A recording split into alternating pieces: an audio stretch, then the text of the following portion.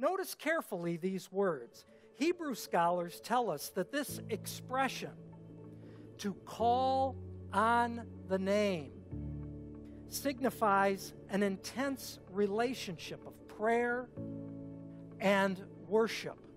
It's the way of entering into a relationship with a God through prayer and worshiping.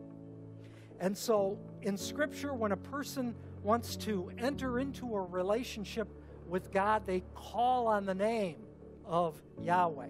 Now, what's so amazing is that when we come to the New Testament, the name Yahweh, translated into Greek as Lord, is the name Jesus is given to indicate that not only is he Yahweh in human flesh, but also he's our Savior. He's the one we need to connect with God through him. This little tagline in the Old Testament was uh, clearly the way people connected with God. Let me just give you a few examples. In Psalm 116, verse 17, the uh, psalm writer says, I will offer you a sacrifice of thanksgiving and call on the name of Yahweh. Look at another one. For then I will restore pure speech to the peoples, so that all of them may call on the name of Yahweh and serve him with a single purpose. That's Zephaniah chapter 3, verse 9.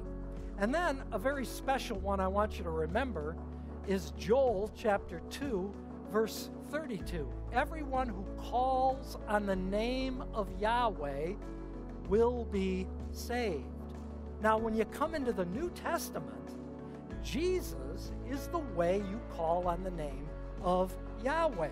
When you enter into a relationship with God, you call on the name of the Lord.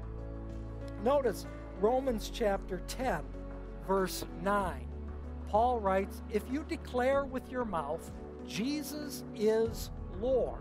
Remember, now we're talking in Greek, so it uses the word Lord instead of Yahweh. Jesus is Lord, and believe in your heart that God raised him from the dead, you will be saved.